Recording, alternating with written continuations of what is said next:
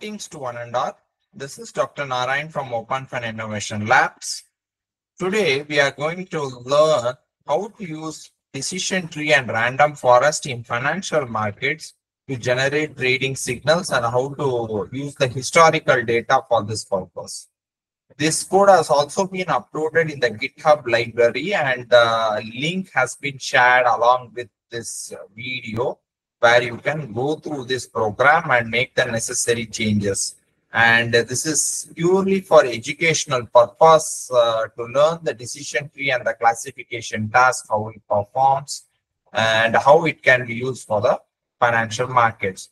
So the first thing first, so we will import uh, certain libraries such as pandas as PD, numpy as NP, from date time, import date time, import matplotlib, seaborn.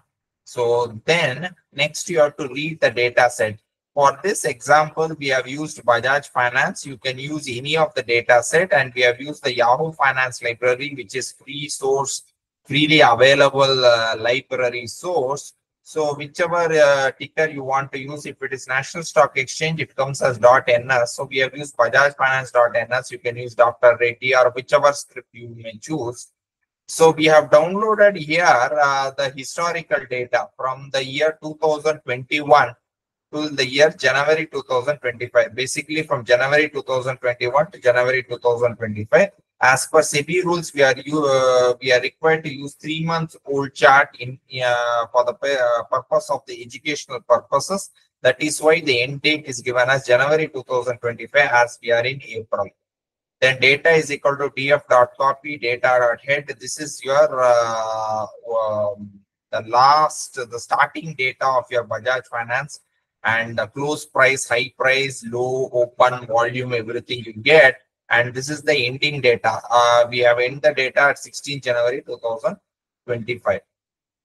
This basically has 988 columns and uh, uh, sorry 988 rows and five columns.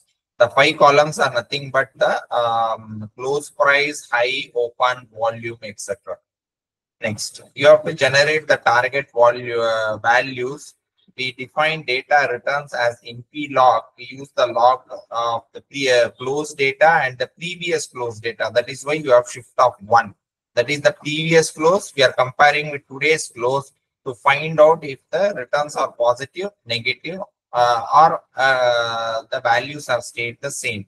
So in this case, uh, if the data returns uh, either as 0, 1 or uh, either as 0 or 1, that means uh, either the previous uh, today's close price is higher than the previous close price, then it will take as one. And if the today's close price is lesser than the previous close price, it will take as zero. Okay, next we have what is known as the feature selection.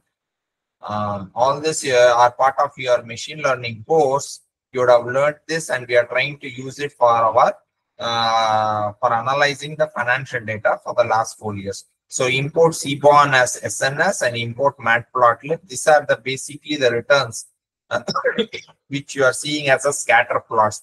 These are daily returns. As you can see, the maximum positive returns per day. Uh, the uh, you have five percent returns, very rare. Seven percent and ten percent returns, very rare. And on the y-axis, you have the volume, and the x-axis, you have the returns, daily returns. These are not weekly or monthly returns. In feature selection, uh, our intuition says that only these two features may not be able to capture the, all the intricacies of the stock movement. We need more features. So we use rolling standard deviation, rolling close price, percentage close price, volume, uh, everything. So all the features you can list out here. You can add the features which you may feel it more important than this here I have used standard deviation, moving average, uh, then daily percentage change, features based on volume, volume moving average, and the intraday movement. That is the uh, close price minus the open price. So these are the feature list. Data.info, you will get all the feature list, percentage, volume, moving average, standard deviation, 5, 10, 15 we have used. You can use uh, your own uh, values if you want So feature list plus target, uh, these are the da- feature list uh, data of the feature list, standard deviation 5, 10, 15, moving average 10, 15, 20, 25 moving average. So all this we have used. Next is to generate the training and the testing data set. For this, we use the from the sklearn model selection import train test split uh, data set. So you have to train, uh, test and split the data sets. Usually the test size we have taken as to 25% of the total data set. So that you can change from uh, 20 to 30, 15 to 25% is normally taken. Then you have to define the model. From uh, scikit-learn, uh, we are importing the decision tree classifier. So decision tree classifier in this, we have maximum depth of the 3S3 and random state status 1. If you know the decision tree classifier, you should define the depth of the decision tree. Moment you use the command import decision tree classifier, this will be important and you don't have to define the decision tree and only you have to define the feature size. That is the maximum depth of the tree and all. Then you have to train the model. So you have model dot fit, extreme y train, maximum depth as 3 and random state as 1. Then you have to predict the model. So model accuracy on the training data is 60% and the model accuracy on the testing data is coming as 56%. So 75% is your training data. Based on the training data, we are using that to you uh, for the test data. And uh, so your accuracy on the training and the data and the test data will be different. Then you have to evaluate the model. Already we have seen the model accuracy on the training data is 60% and model accuracy on the testing data is 56%.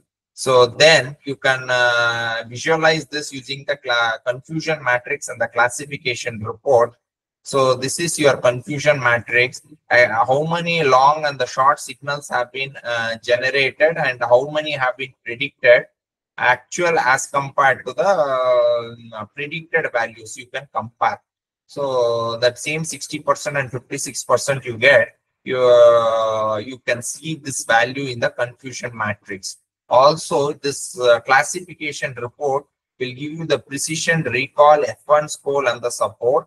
Uh, so precision uh, is very important. Accuracy, you will get uh, what 56% we discussed. Uh, recall and the F1 score, which are very important for analyzing the data as per your machine learning algorithm. So this is, you can generate the tree if the moving uh, uh, using Gini index and uh, the samples, uh, the tree is being generated. This is your decision tree.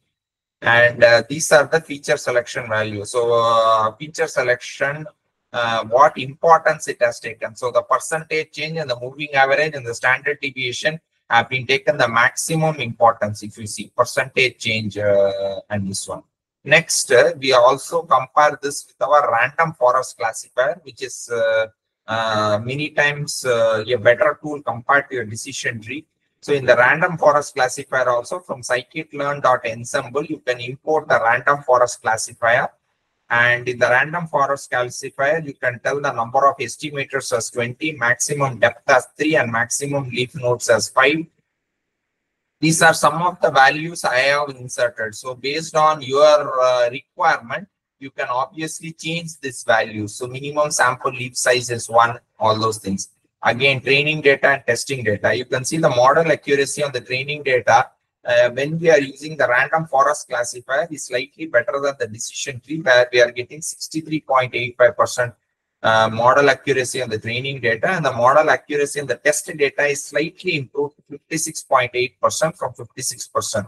So that comes to around 57%. Here the importance uh, uh, in decision tree importance are changed and it is given more equal importance. The most important feature which is it is taking a standard deviation next as percentage change. If you have seen the decision tree, it has taken the percentage change as the most important feature selection Whereas in the uh, random forest classifier, it has taken standard deviation as one of the uh, most important features to be this one.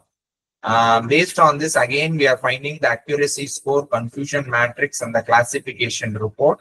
So same thing you can do. Uh, you can see the uh, you can see the accuracy is 57%, slightly improved 1% improvement as compared to the decision tree. Again, you will get the recall and the F1 score in this, and this is the confusion matrix. Actual predicted sell and the actual predicted buy and the uh, actual signals and the predicted buy and the predicted sells. Then you can also generate the signals. So this is based 50 signals we are generating that is there in the program which is uploaded in your GitHub library. Signals.take 50 signals we are generating. So based on the previous data, it is generating signals here. Okay. So this is your actual signal and this is the predicted signal. So actual is buy, predicted is also buy. You would have made a profit if you had uh, taken this trade on 4th November 2024. So this is the actual predicted and the uh, predicted signal, actual signal and the predicted signal. So you can even generate the signals. So if you use the strategy returns and compare to buy and hold returns, so you would have got uh, yeah return of around 26.24% uh, as compared to buy and hold returns of 0.1%, meaning uh, the buy and the sell if you do aggressively based on uh, the signals generated by the machine learning algorithm, you would have made a 26% return as compared to just buy and hold returns, which would not have generated that much return. Thank you very much for uh, watching this video till the end. If you are interested uh, more to learn about this, we have a tailored made course uh, which is specifically where, where we teach Python for finance along with statistics and advanced Excel. That is a, a four month uh, mentorized curated course and the details are available in our website uh, which is given in the link below. Thank you very much for watching. Have a good day. Thank you.